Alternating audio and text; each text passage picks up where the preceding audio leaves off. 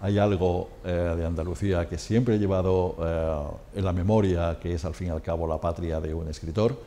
y eso es fundamentalmente el lenguaje, una manera de hablar, que es una manera de recordar, que es una manera de vivir. Y ahora eh, todos tenemos esa memoria compartida y queremos proyectar esa imagen fuera de las fronteras de Andalucía y esa imagen tiene que estar presidida, y yo creo que está presidida desde hace muchos años, y más ahora en tiempos de dificultad, por la solidaridad. Yo creo que los andaluces somos solidarios, sabemos estar del lado de los que peor lo están pasando,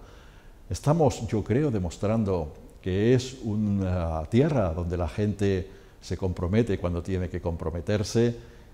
eso alejado de los tópicos de cada uno va a su aire, solo piensan en divertirse, eh, la alegría es una obligación, como decía García Lorca, pero hay también otras obligaciones compatibles con la alegría y fundamentalmente la de la solidaridad entre todos, la de la solidaridad, el compromiso, las ganas de seguir adelante de todos los andaluces.